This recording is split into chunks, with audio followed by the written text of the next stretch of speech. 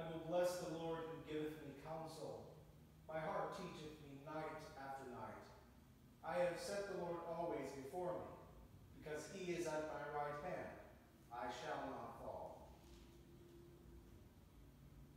O God, make speed to save us. O Lord, make haste to help us. Glory to the Father, and to the Son, and to the Holy Spirit, as it was in the beginning, is now, and will be forever. Amen. Hallelujah. O gracious light, pure brightness of the ever-living Father in heaven, O Jesus Christ, holy and blessed, now as we come to the setting of the sun, and our eyes behold the vesper light, we sing thy praises, O God, Father, Son, and Holy Spirit. Thou art worthy at all times to be praised by happy voices, O Son of God, O giver of life, and to be glorified through all the worlds.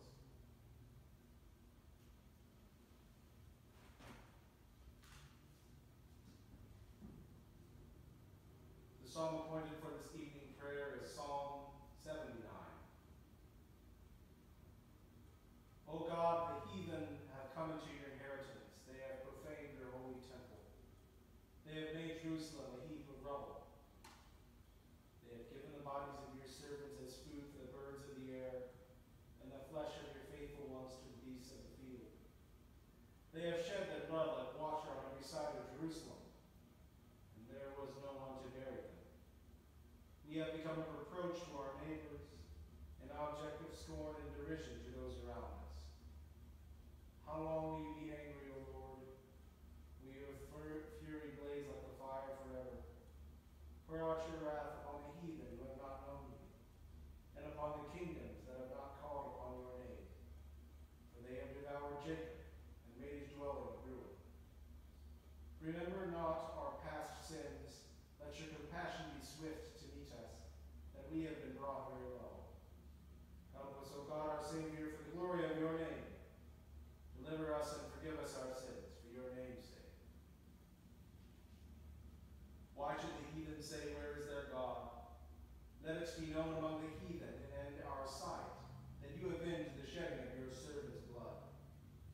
Let the sorrowful singing of the prisoners come before you, and by your great might spare those who are condemned to die.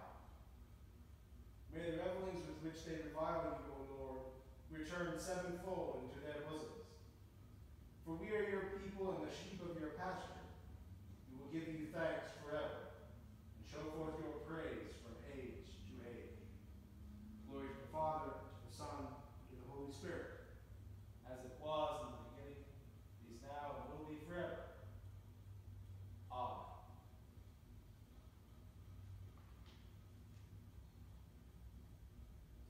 Our reading from the letter of Paul to the Romans, the first chapter, beginning at the first verse.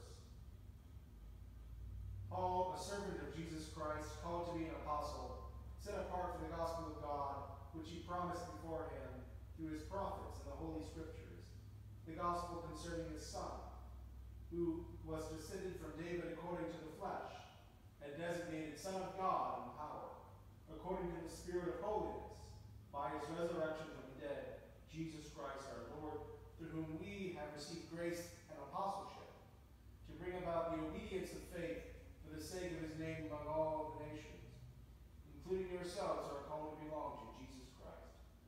To all God's beloved in Rome who are called, and the Lord Jesus Christ, who are called to be saints, grace to you and peace from God our Father and the Lord Jesus Christ. First, I thank my God through Jesus Christ for all of you, because your faith is proclaimed in all the world. For God is my witness, whom I serve with my spirit in the gospel of his Son, that without ceasing I mention you always in my prayers, asking that somehow, by God's will, may not at last succeed in coming to you. For I long to see you,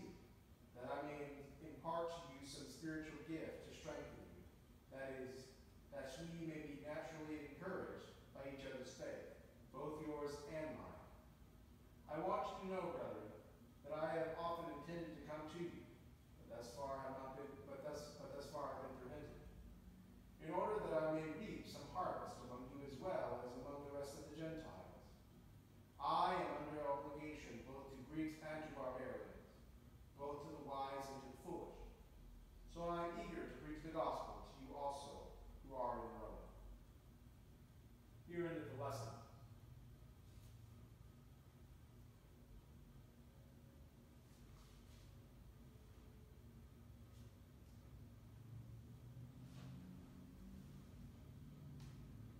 My soul doth magnify the Lord, and my spirit hath rejoiced in God my Savior. For he hath behold, from henceforth all generations shall call me blessed. For he that is mighty hath magnified me, and holy is his name. And his mercy is on them that fear him throughout all generations. He has showed strength with his arm. He has scattered the proud in the imagination of their hearts. He hath put down the mighty from their seat, and hath exalted the humble and meek. He hath filled the hungry with good things, and the rich he hath sent empty away. He, remembering his mercy, hath opened his servant Israel, as he promised to our forefathers, Abraham and his seed forever. Glory to the Father, to the Son, to the Holy Spirit, as it was in the beginning, is now, and will be forever. Amen.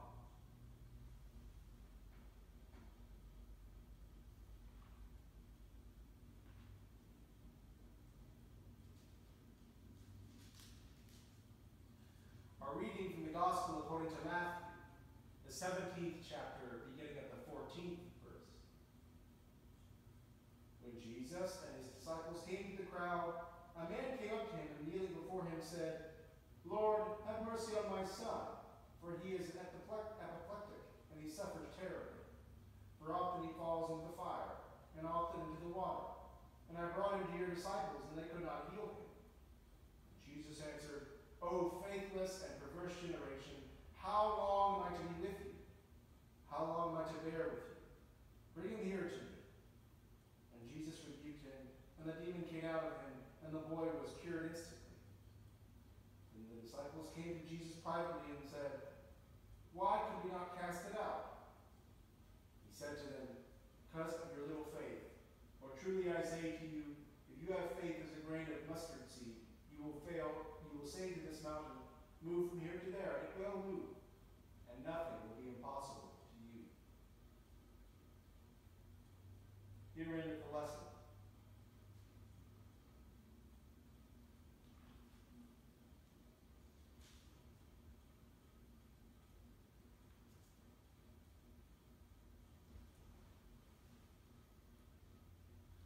Lord, now lettest thou thy servant depart in peace, according to thy word.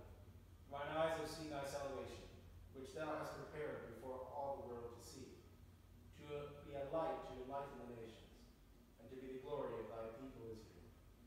Glory to the Father, to the Son, to the Holy Spirit, as it was in the beginning, is now, and will be forever. Amen. I believe in God, the Father Almighty, maker of heaven and earth, and in Jesus Christ, his only Son, our Lord, who was conceived by the Holy Ghost, born of the Virgin Mary, suffered under Pontius Pilate, was crucified, dead, and buried. He descended into hell.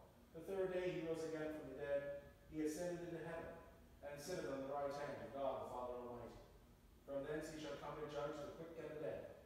I believe in the Holy Ghost, the Holy Catholic Church, the communion of saints, the forgiveness of sins, the resurrection of the body, and the life everlasting. Amen. The Lord be with you, and with thy spirit. Let us pray. Our Father, who art in heaven, hallowed be thy name. Thy kingdom come, thy will be done, on earth as it is in heaven. Give us our daily bread, and forgive us our trespasses, as we forgive those who trespass against us. And lead us not into temptation, but deliver us from evil. For thine is the kingdom, and the power, and the glory, forever and ever. Amen. O Lord, show thy mercy upon us, and grant us thy salvation. Endue thy ministers with righteousness, and make thy chosen people joyful. Give peace, O Lord, in all the world, for only in thee can we live in safety. Lord, keep this nation under thy care, and guide us in the way of justice and truth. Let thy way be known upon earth, thy saving health among all nations. Let not the needy, O Lord, be forgotten, nor the hope of the poor be taken away. Create in us clean hearts, O God,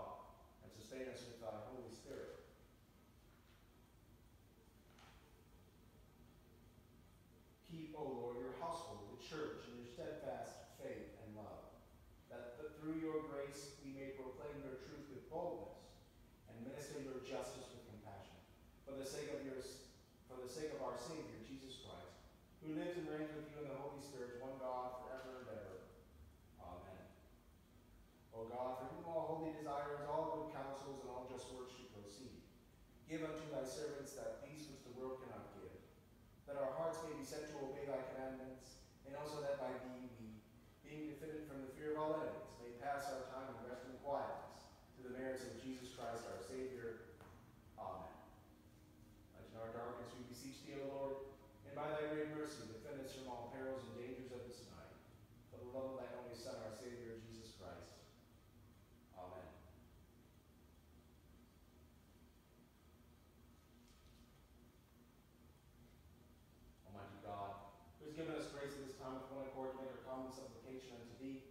And as promised by my book that would some and two or three are gathered together in his name, God will be in the midst of them.